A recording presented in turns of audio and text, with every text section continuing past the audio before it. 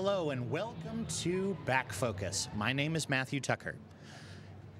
I want to welcome you to this inaugural episode of Backfocus, give you a little bit of background of what this program is going to be about, and interview and introduce our guests this evening. Backfocus is a program that's dedicated to promoting the causes, purposes, activities, and collaborations of Pittsfield Community Television. Now, a lot of people are relatively familiar with Pittsfield Community Television. You're watching us right now, so you are at least a little bit familiar with what it is we do here. However, if you're not if you're not in the community of Pittsfield Community Television, if you're not sort of on the front lines and figuring out what it is we do here, it's very possible that you're not familiar with what it is PCTV actually is and does. The goal of Backfocus is to help change that. And our first step, of course, is to answer the most fundamental question What is PCTV anyhow? To answer that question today, I have Pittsfield Community Television Executive Director Bernard Avalle. Bernie, welcome. Thank you. Glad and, to be here. And I have uh, the Administrative Assistant to the Executive Director, Jody Kordana. Jody, welcome. Hi, Matt. Thanks. Um, so, I want to start first with the the sort of the, the real basic fundamentals. What is PCTV? Is it um, can you give me a basic description of what PCTV is? Uh, PCTV uh, is very similar to other organizational groups like uh, what we are, and basically, uh, there was a law that was enacted at, at one point in uh, late 50s, early 70s, uh, late late 60s, sorry, early 70s, and it, when cable operators started providing cable service to each community, uh, they uh, were uh, part of a law that said, well, if you're going to provide this type of service, uh, then you must provide access to the people uh, of the community that you're you're providing that service. And the reasoning, some of the reasoning behind that was.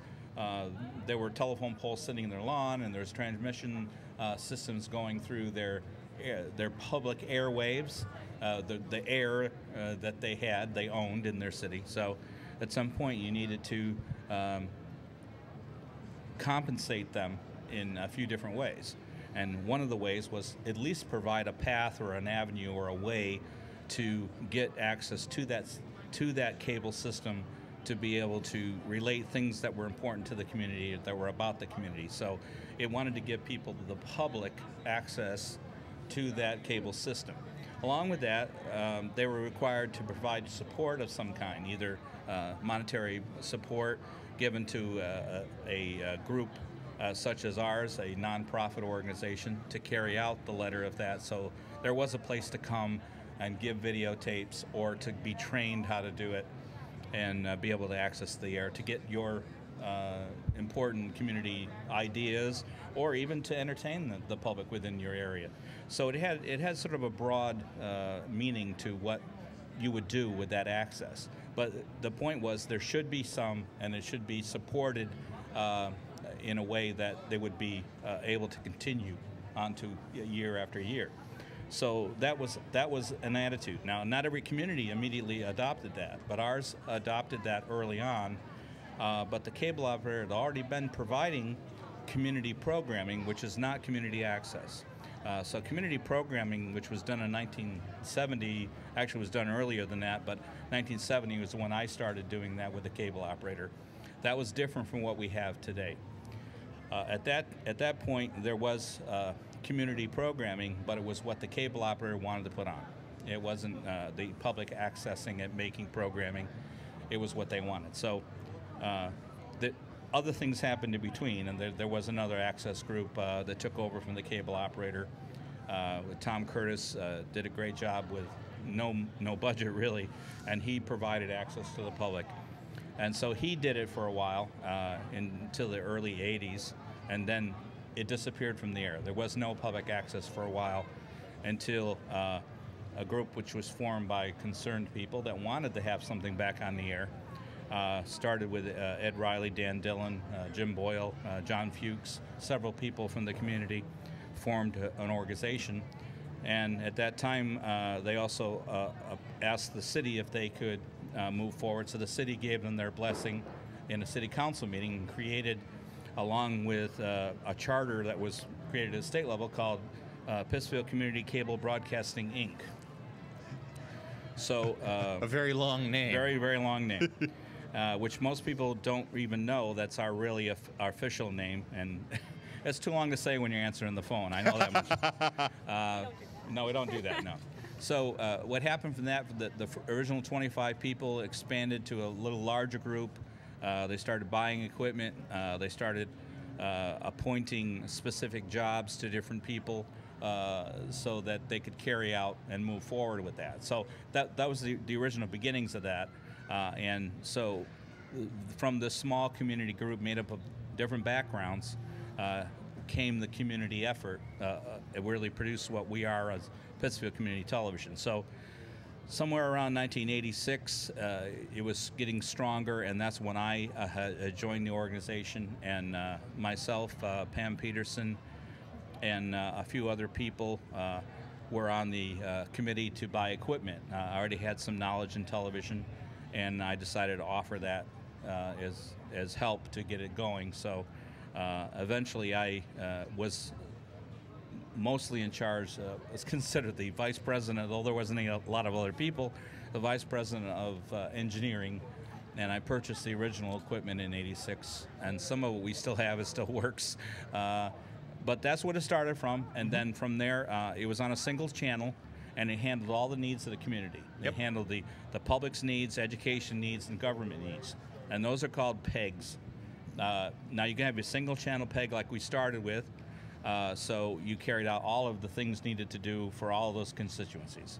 Just for, for clarity, PEG is public, education, and government. Right. Um, by the time we had our second franchise, in that second franchise, there was a call for three channels. So that allows programming to expand across that. Uh, the staff had to expand. There was uh, only two or three of us uh, for a number of years, uh, and uh, the first executive director was uh, Garrett McCary, uh, somewhere uh, in uh, I think it was 80. I'm, I'm going to be corrected on this. I know it was 89, I think, or 88. Sorry if I got it wrong. Uh, it was somewhere around there. Uh, it was late in the year uh, that he uh, was uh, made executive director. Shortly after that, he hired the first staff person, and that was Sean Sear. Ah, Uh, yes, our, our current Yes, education our, our coordinator. current education coordinator and engineer.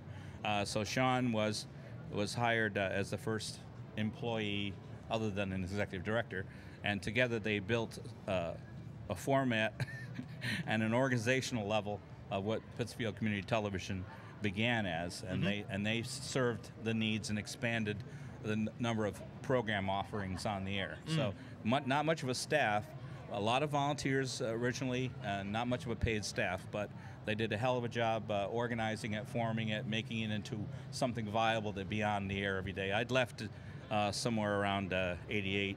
I left right after, uh, right before the uh, first uh, program that was produced by Pittsfield Community Television. I departed. So, uh, so that's one went forward for a number of years. Uh, currently, uh, in this conti- this current franchise, um, there's three channels, three distinct channels, and there Yep. had to be more staff. Uh, so I came in as executive director in '96, '97, something like that. I was intern for a little while and then executive director. And uh, when when that happened, also more staff was hired. Uh, we're going to get to Jody. Jody's waiting Oh, patiently no, over here. absolutely. I've, I've got a Uh, question for her when you uh, finish so- your thoughts. So take your time. we hired more staff. We moved into a new building and we expanded across the three channels Mm-hmm. with a person running each one of those channels under sort of this corporate entity. And the corporate entity was Pittsfield Community Television, which Yep. is still the same organization. And underneath that, three channels now existed. And programs were really jam packed into that original channel, then migrated across and then expanded again and again until we are here with uh, three channels that are pretty well uh, expanded with programming and added staff, the current staff we have now over this, this period of this franchise period that we're Yep. in now. So, um, some of the thing is uh, some of the things that had to change were if you're going to handle more channels, you had to handle more responsibilities. Yep. And it was too hard for one person to do all those things, so you you you had to have more staff to, to make it expand and, and help it along and make it better.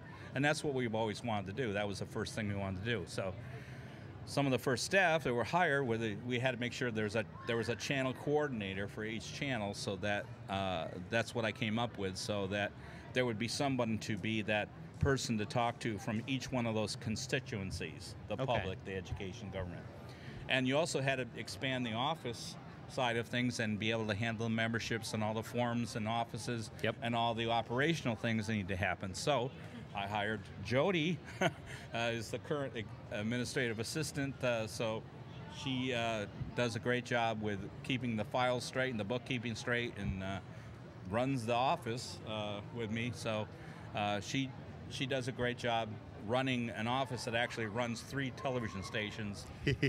uh, so uh, that's where we currently are with what with the organizational level. And of course, there's more staff than that. Right. I'm sure we'll talk about. Oh, absolutely.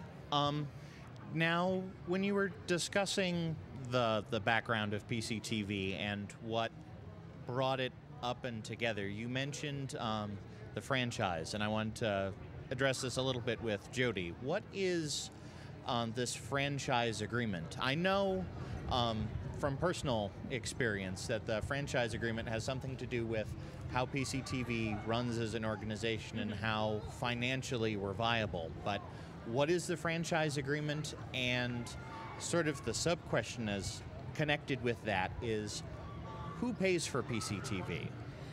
Right, that seems to be one of the more common questions, um, clarifying for the public how we operate and how our financial situation falls together. Um, the franchise agreement, and Bernie can correct me or step in to give the more finer details. Um, Time Warner Cable pays the city of Pittsfield an agreement to operate in the city of Pittsfield. If, if you want to elaborate Yeah, on it's that, it's actually you a can. pass-through. It's a pass through. Yeah, yeah. Pitt, city of Now, Pittsfield, is- yes. That's sort of a, a way of giving back to the community for. Right. Correct. Yes. Okay. Correct. Right, that's and part in of that agreement. Okay. p- there are people who think that PCTV works for the city of Pittsfield or for Time Warner. Neither of those things are true. We are an independent nonprofit organization. Uh, the city of Pittsfield takes that pass-through money and passes it to us to operate independently to bring a- access television to the residents of Pittsfield. So that's how it works. I've had people call me and say, you know, um, who's your boss at Time Warner Cable? And I say, well, we, we do not have a boss at Time Warner Cable. And it has surprised a few people. We do not work for Time Warner Cable. No. We don't work for the city of Pittsfield. We support the city of Pittsfield.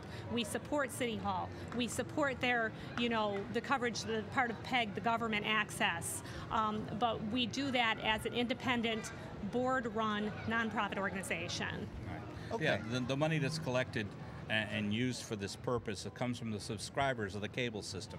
It's not tax raised money. Okay, so it, it's like money from uh, when you go and look on your bill if you're a Time Warner member, Mm-hmm. and there's uh, that little spot where it says uh, subscriptions and fees or something Right. of that nature. It's it's Uh, it- identified as franchise. okay, Uh, so when a company franchises with City, whether it's ours or anybody else's, there's some kind of fee that's paid. Okay. In this case, part of that fee, and this is th- this fee structure is set up by the state. We didn't. Okay. We don't set it up. You can't change it. it the, the state set it. okay, So that it can be looked up online. If you go on uh, mass.gov, you can look up all of the information. Um, but a portion of that money is called regulated, and a portion of that money is called non-regulated. So this is subscription money. It's not all the taxpayers' money. It's not taxes. What happens though, part of that money is regulated, and the regulated part, uh, part of that is. Uh, goes to the, uh, the the local municipality, so they do Okay. get a, a fee, okay, uh, it goes to the state okay, and it goes to the federal government. Okay. But the bulk of that money comes to and passes through the city so the city can identify it and given to us. Uh, it's given to us to provide the access to the public and be able to run the facility so that they can have access and that make sure their programming and their voice gets on the air.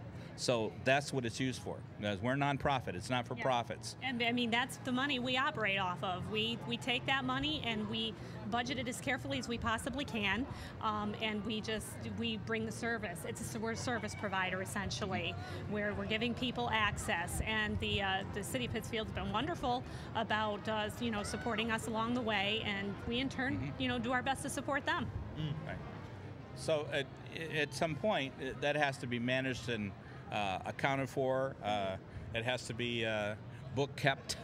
Yep. We get audited, of course, and we get audited uh, just like any Yeah. organization, and that's a lot of work. And Jody handles a lot of that. Uh, Yeah, I'm usually the first one who gets my hands on it. Well, Bernie usually gets picks up the uh, money, and I just take it from there, and I keep the books in order, and I answer to the board, our treasurer and board president, and the entire finance committee, and the entire board. Anytime they have a question about, you know, how is this money being laid out, and uh, even with our auditor, she asks the same thing. I just make sure everything's in order. We're very transparent. We are, our books are so transparent. I mean, it's all right there. We- You know, I want it. That's the way I want it. That- you want that- transparency. That- that's what you want from your uh, your non-for-profit yeah, and, and that's uh, one of my my constant, you know, goals is to keep it transparent. I, I know every penny, where it went, who it's going to, what I did with it, who authorized it, and Mm-hmm. I just make sure that all that stays wide open. Yeah. very So- cool. Mm-hmm. so that you know we we want to uh, make sure that we can identify everything and uh, that that it's easily shown where it is because all the money is spent is spent is spent exactly what it's there for. It's uh, Yes. all the uh, some people see us on there and they think this is the only thing we have. We don't. Yep. We have several different locations throughout the city that are used every single week, uh, and that gives the public access to. Uh, the political things going on and to all of the other programming that we do because in city hall in the in the school systems there are other uh, equi- there are other pieces of equipment that we've installed to allow them to see city council school committee and all of those kind of things uh, that go on. So it's all invested out in the system. So all of that money that comes in doesn't go into some sort of paying executives or anything. It goes Oh, no. ba- it goes back into It goes right into the budget, the and- operating budget. and and that budget pays for PCTV's equipment Mm-hmm. um, and PCTV's staff. yep, correct. um, and those things then do. I suppose that then leads to what what is that all for? Why should the community care about Pittsfield Community Television? Want to become involved? Want to want to sort of cheer the organization on? Well, I, I can start on that. That's because PCTV gives the public a voice. That's what we're here for. This is your chance to take a stand on something that you believe in or something that you want. You know, we support, you know, nonprofits around the community, get get the word out of things that are going on that just to just to support the community. I, and I'm going to cut in very quickly Yep. because I've got a question about who can use PCTV. Mm-hmm. I, is, is there a, a specific sort of uh an, a small elite group that are allowed to use it? Is Nope. it is it anybody who walks in the door who can use PCTV? First and foremost, we, uh, we are for the city of Pittsfield, the residents of the city of Pittsfield. If you live or work in the city of Pittsfield, you can have what is called a full membership, which means you have access to our facilities and our equipment. The uh, regu- the um, the A- a- stipulation and, the training to use and all of that equipment. And the training. You have a staff that supports you. The stipulation on that is you must be doing programming for our channel. You, you can't we're not a lending library. We're not so you can come take equipment and go you know film a wedding for your own home. This is so you can bring programming to the community. So we provide all the support. We lead you along the way.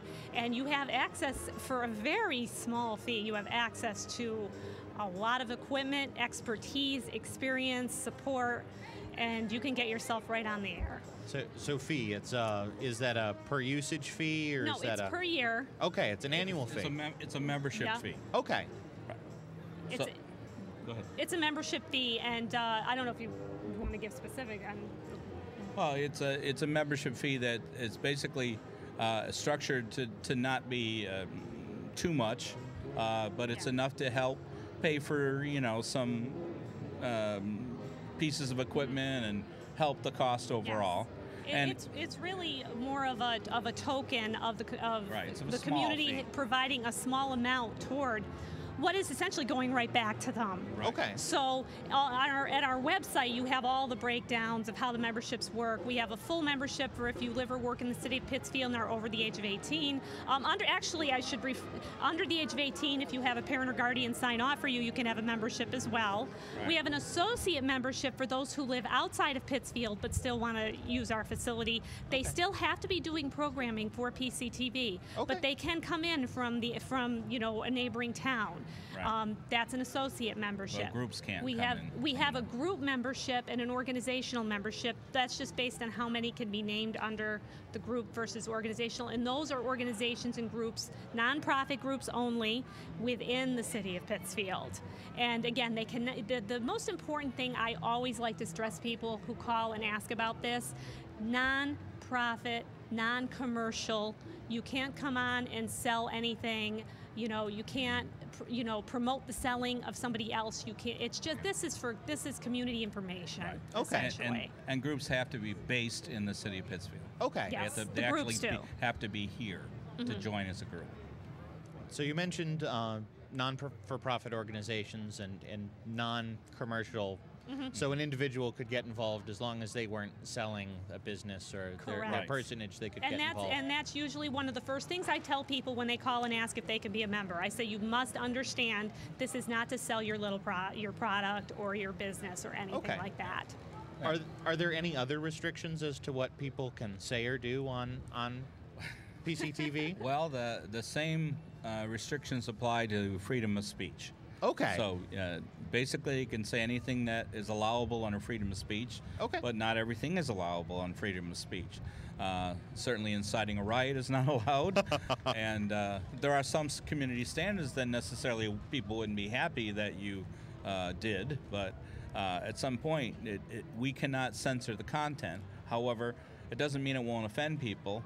Right. And it, there wouldn't be a necessarily a consequence from somebody above us like the cable operator, who is accountable. So uh, we certainly can allow any kind of thing to go on, but you've got to uh, understand that within that's within limits of what freedom of speech allows. So there, there's sort of a, a fundamental thing that I'm getting here that um, within that, that bound of freedom of speech and a, a non-commercial because PCTV is a non-for-profit organization. People have the, the freedom to talk about what they want, and PCTV doesn't have anything to do with that message, correct? No, That we don't create we don't create the content on a day-to-day basis. Producers from the community create the content. All we do is assist them to be able to uh, do programming in the way that they want to do it. Uh, we, we show them the correct and successful way to do it. Uh, and they can choose to do it that way, or they can choose not to do it that way. Nobody makes them do the programming the way we want them to do it. We just show them the right way to do it. Yeah, Most often, they want to do it as professionally as they can because they don't want the content uh, to take away from uh, the fact that they don't want the the technical uh, qualities of what they're doing take away from the content. Is what I meant to say. So. And actually, um, he had brought up another point I'd like to speak about regarding producers. The difference between a producer and a member, or can they be both? Um, this sometimes confuses people a little bit. Most people don't realize that if you if you have a program, say that you did on your own elsewhere, and you want the people of the city of Pittsfield to see this program on PCTV, and, and it's under our regulations of non, you know, profit. It's you know some kind of human interest or what have you. You actually don't have to be a member to put it on the air at PCTV, but you can bring it in as a resident of the city of Pittsfield and, and call yourself the producer and we, we ask you to do what is called a wraparound, which means on camera you say, I am, you know, John Smith of the city of Pittsfield, and I would like for you to see this program. And that will go on the air. You do not need to be a member to do that. You don't need to be a member to have access to the airway. You do need to be a member to use our to equipment. use the facilities. Yes. Okay. Now Okay. that Go ahead. Uh, um, So essentially, that's free. Yes. To, to put a program on is free if, if you produce it or do it on your own outside the facility. But it still has to be nonprofit. that, that's pretty incredible. Yeah, so it's free access, really. I was just going to add that uh, I, I, don't want to leave out the rest of the staff. It seems like we talked about everything, but uh, the the staff uh, that's been added. Well, we've got somebody on staff who just gave us a time cue, who's been at the facility for 12 years, more than 12 years now, right? 16 years. I'm sorry. See how time flies. I should say. We've all been here for a long time, uh, so, including you. No, so Norm Schaefer, who's the public access coordinator, was doing that position uh, uh, for a long time. Mm. Right. There weren't too many volunteers. There's a lot of volunteers now, though. Uh, we have 291 uh, members of the facility now. Uh, who volunteer and do programming. Not everybody does programming, but they work with some capacity or another. And uh, Norm is the public access channel coordinator. So he's the one that programs it, and he's the one that you work through uh, to do public access programming. So most community members would be working with Norm. Most of the time, yes. That most, that's yeah. that's how it falls. And it, then Sean pretty much takes care of educational, and Dave takes care of government access. Okay. Right. So anything going through the schools will be with Sean Sayre. Okay. And anything going through the governments, the meetings, uh, any government functions, things like that, would be Dave. Cachet, who we've seen do our voting. Uh, yeah, our, our election too. coverage. And then there's two two guys. there's Matt Matt Tucker and Ryan, who's actually directing this. Poor Ryan. Uh, if he can take a shot and wave to the camera from the truck. Uh, Ryan is in there directing this particular program. So Ryan and Matt are the uh, production technicians who do a lot of training on all of the channels, work with all the people on all of the channels. There's Ryan waving to you right there. Setting, and to the left of him is Sean. There, go back to that for a second. The left is Good Sean. The truck, uh, there, and he's engineering as well as the education coordinator. And uh, we got Tom over there in the corner, an intern helping us. All right. So, so and Dave, and Dave's on camera over here this half hour has flown by. Yes, it has. So I, I Jody Kordana and Bernard Avalle, thank you so much for joining me today. Thank you. Thank you. Uh, everyone, this has been an episode of Backfocus. Back Focus endeavors to show you the other side of Pittsfield Community Television, what happens on the opposite side of the camera. I, and in addition to being a staff member, am a community producer. I'm producing this on my own. So if you want to learn how to make a show like this, come on down to Pittsfield Community Television. We'll teach you how. Until next time, this is Matthew Tucker. Thank you for joining us on Backfocus.